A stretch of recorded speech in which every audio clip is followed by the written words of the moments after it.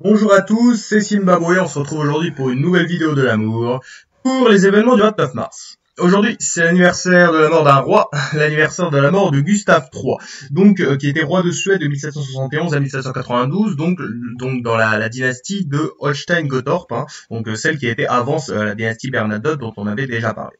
Donc Gustave III, c'était un des représentants du courant du despotisme éclairé. Vous savez, on en avait déjà parlé. C'était ces rois très autocratiques, philosophes, hein, voilà, qui qui régnait avec la doctrine tout pour le peuple, rien par le peuple. Et donc Gustave III en faisait partie. Il était francophile, il, bon, il était pote avec pas mal de philosophes, puis aussi il avait fondé par exemple une académie euh, suédoise, euh, il avait aboli la torture, ce genre de choses. Et donc en 1792, qu'est-ce qui se passe? Eh ben, En fait, alors qu'on est en, pleine révolution, vous le savez, donc euh, voilà, pour lutter contre la noblesse, il avait renforcé son pouvoir absolu. Du coup, la noblesse forme un complot. bon, il y a, y a un, voilà, c'était le genre lors d'un bal masqué, bah, il y a un type tranquille, un certain Ankar Storm, donc qui arrive et qui lui tire dessus.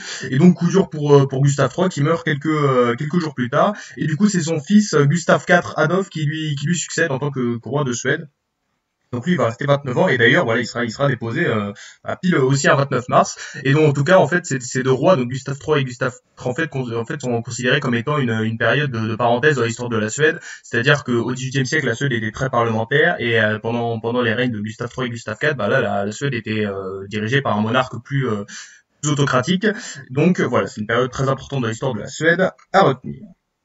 Aujourd'hui, c'est aussi le début euh, d'un conflit qui va avoir lieu donc euh, en France en 1947, l'insurrection malgache de 1947. Alors, est-ce que vous connaissez l'île de Madagascar? Vous voyez, cette île donc au sud-est de, de l'Afrique, voilà, qui est très connue pour euh, notamment la, la, la diversité de, de, sa faune et de sa flore. Et il faut savoir que c'était une colonie française, hein, évidemment, jusqu'en 1960. Et en 1947, bah, il y a eu un gros conflit, en fait, une grosse insurrection de pas parce que bon, les conditions de vie étaient, étaient horribles. Bon, on était à la fin de la Seconde Guerre mondiale, du coup, il y avait de la malnutrition, et donc il y avait le mouvement, voilà, démocratique de la rénovation malgache, voilà, qui a commencé à s'insurger, et ils ont été rejoints par voilà par des paysans du sud de l'île, et ils étaient euh, des dizaines de milliers, avec euh, des saguets, des couteaux, des haches et des talismans, donc et des potions magiques aussi, donc bon voilà, c'était c'était plutôt chaud, et en fait ce, cette insurrection en fait a fait beaucoup de morts parce qu'il y a eu une forte répression, euh, il y a même des historiens qui parlent de guerre civile, qui voilà, il y a eu entre 11 000 et puis 89 000 malgaches tués, et bah, vraiment c'était c'était chaud, il y a eu des méthodes voilà, des, des exécutions sommaires, de la torture de la part de la France, des regroupements forcés, des incendies de euh, voilà, même euh, il y a des gens qui ont été jetés vivants depuis des avions, donc vraiment c'était euh,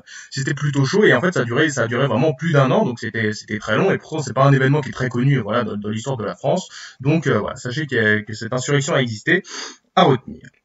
Et aujourd'hui, c'est aussi à l'anniversaire de la redécouverte d'une célèbre œuvre d'art, la redécouverte donc de l'armée de terre cuite, donc en 1974. Alors l'armée de terre cuite, en fait, c'est un ensemble voilà de, près de 8000 statues de soldats de chevaux en terre cuite, donc voilà qui euh, représentent voilà les troupes du célèbre Qin Shi Huang, donc le premier, euh, le considéré comme le premier empereur chinois, donc avec plutôt, euh, plutôt respecté. Et en fait, bah, durant son règne, il y avait des, des, des, statues en terre cuite qui ont été créées. Vraiment, il y a, elles ont regroupé jusqu'à 700 000 hommes.